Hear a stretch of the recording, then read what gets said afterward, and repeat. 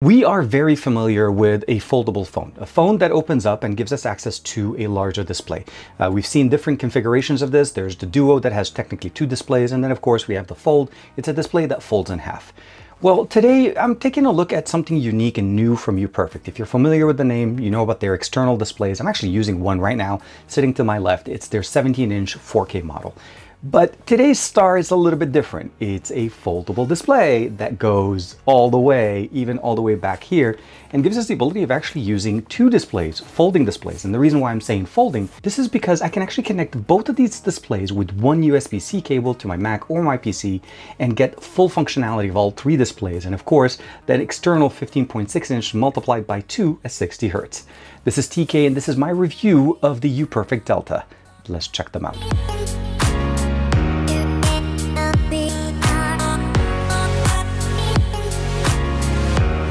Like and subscribe and make sure you hit that bell icon so that you're always notified to whenever we have new videos on the channel. I'm gonna start off by talking about the fact that this is technically two displays. I do enjoy their solution when it comes down to their external displays, and those are typically a single panel, either 15, 17, or even 18, and depending on the resolution configuration, but the point of it is, it's an additional screen to augment the experience that you have on your PC. So the PC typically has one display, a 15.6 or 16, but the biggest thing about it is obviously it's a cramped style experience because it's smaller than what we typically get with the bigger displays at home. But when you add an additional display in which UPerfect provides a quite a, again, different models that you're able to pick from, it extends that experience and you're getting a better experience at that point. You can do more. Multitasking is to the next level. And I think the Delta is taking that to the next level even more by giving us double the amount of displays. And this is not just having two of them, this is connected two of them. And the biggest difference between the, uh, this and what you've seen before is the fact that they're actually connected to each other, meaning I can actually run both of these displays connected with one USB-C cable to my PC or to my Mac. And I think that's a big difference in what we get from different places. You're not getting two separate 15.6 inches, although you can run them that way. This is a single cable type of a solution, but I'm also gonna show you guys how we're also able to run multiple things on this, meaning I can run, uh, let's say my Steam Deck on one display and I can run my Z Fold 4 on the other running DeX. And that's because we do have inputs for USB-C and HDMI for both displays, or one cable to both displays depending on the configuration you want. Now when it comes down to cables, they include everything you need down to the charger, which is a 20 watt charger that enables us to actually charge through the display. So it connects to the display and the display connects to your PC or your Steam Deck and you're able to pass through the power to it.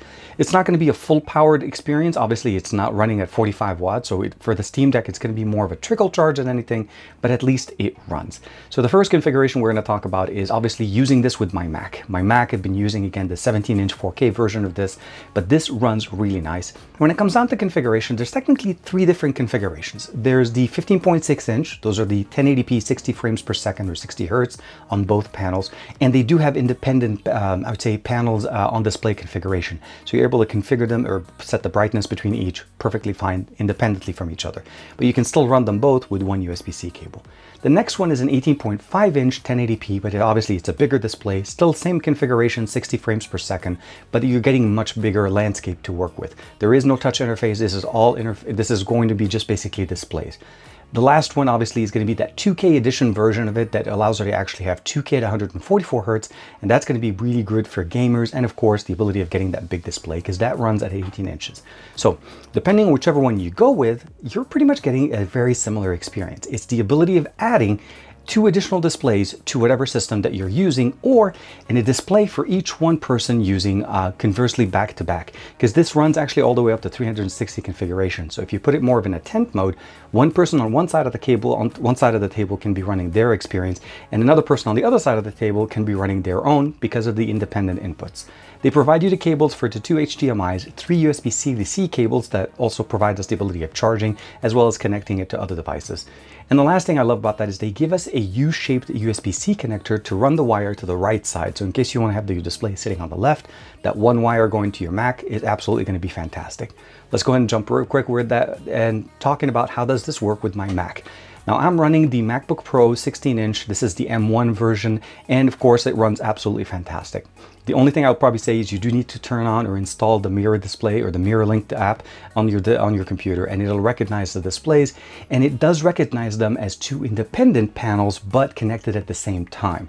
So the PC will be able to handle both of them together and what I did in my configurations under settings is align them to be the way I'm looking at them. Two displays sitting on the left, one above each other and of course my main uh, display on the laptop sitting on the right side and it was really nice to be able to configure that. I wasn't able to extend or at least stretch uh, displays from one to the other and unfortunately that's I feel like a limitation of the MirrorLink application that we have there but at the end of the day using them as triple con uh, configuration I was able to run uh, my timeline on the bottom display and of course my uh, preview panel on the top and I was able to run my edit much nicer having it in that configuration typical to the way I see it here at home. Absolutely a fantastic experience and surprisingly if you converse this or flip this over to the PC side with Windows.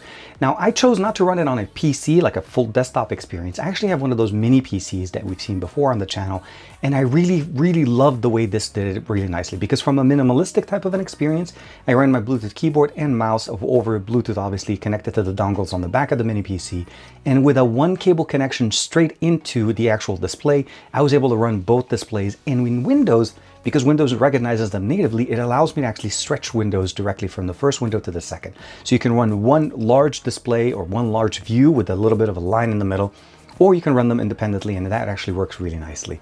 So the experience on this mirror is exactly what we see on the Mac side. The computer is recognized right away, no additional applications installed, Windows natively supports this, and overall the experience was super minimalistic and super functional. Both displays are very nice, the colors are very vibrant, you can tune them exactly to the way you want them, and of course set the brightness level independently between the two panels or even match them if you'd like by configuring them on the uh, configuration uh, jog dials on the right side. Uh, again, all connections are going to be on the left and all configurations will be on the right. Okay, so we talked about the PC, we talked about the Mac, and we talked about how well they work with a single cable. But there are some configurations that will require us to have multiple inputs, and I think this is where it becomes very functional.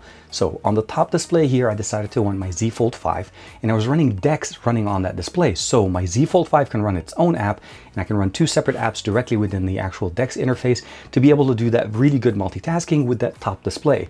The bottom display, I decided to actually run my Steam Deck and I was playing Far Cry in there and it worked really, really nice. The display on the Steam Deck turns off. It basically becomes what the display is on the actual bottom panel because I connected it there. And of course, it runs really good, very simple, and everything that you would expect from it. There is speakers built into this, although not the strongest speakers. I'll probably say that if you're watching content or basically trying to run something that requires better sound, use the built-in speakers directly in, uh, let's say, your MacBook Pro. If you're running a smaller mini PC where you don't have a speaker, obviously these are going to be doing well. When I was playing the game with Far Cry, I did have to bump up the volume all the way to 100% to get a decent experience, although I still felt like the speakers built into the Steam Deck ran better. So Again, your choice is obviously going to depend on what you're trying to do, but it does have built-in speakers in case you need to run that audio there. Uh, as far as HDMI, pretty straightforward. Connect the HDMI, uh, the I think it's like a mini HDMI, but the cables that they provide us run straight to the left side. And of course, that plugs into a full-size male HDMI cable to, let's say, your camera, your laptop, whatever output that you want to use that uses HDMI that runs video and audio from there. And it works pretty much the same. The ability of running both displays will only work over USB-C on the bottom connector. If you want to run them with multiple separate feeds, HDMI or USB-C, you're going to be able to do whatever you want. The cables do go more though. You do have multiple input cables if you're running HDMI or even if you want to run them independently from each other. But if you want to get that really nice clean solution, the one cable solution to PC or Mac, this does support it and it supports it so nicely. And it's about the thickness of my MacBook Pro and it is definitely lighter than my MacBook Pro. And of course flips over to 360 if you want to be using that in that configuration. I will say that I do wish that there was some touch interface uh, functionality built into this, but unfortunately this version does not have. My hope is that the future versions will have it. And of course, uh, it is absolutely fantastic. I never thought that I would be able to enjoy something like this with a kickstand that not only articulates to more of a taller experience, but also ergonomically lower experience. If you want to use this more uh, and you want to basically not have it so tall, it is configurable and very easy. And of course, everything just configured uh, runs really nice. There's some offsets on the bottom to make sure that it doesn't move, even on the bottom part of the display so that you're getting that really nice uh, comfortable experience to the eye level that wherever you're sitting. So for the longest time, we've had a single display solution that we've seen many iterations from. And now we finally have the ability of running two displays either simultaneously over one USB-C cable or independently via USB-C or HDMI input, and they work so nicely. Uh, UPerfect made a really good design here. The Delta is absolutely fantastic. And if you've ever wanted to take your multitasking to the next level with your laptop, this is the solution to go for because again, it's the side of your laptop. It is actually uh, lighter than your laptop, but it adds so much more than what a standard laptop has with a built-in display or a single display that we get there. Like and subscribe as usual. Make sure to hit those comments below. And of course, let me know what you guys think of the U-Perfect Delta in whatever configuration you may think of. Again, there's the 15.6, the 18, and an 18.5, all the way up to 144 Hertz with 2K resolution on those displays. I'll see you in the next video.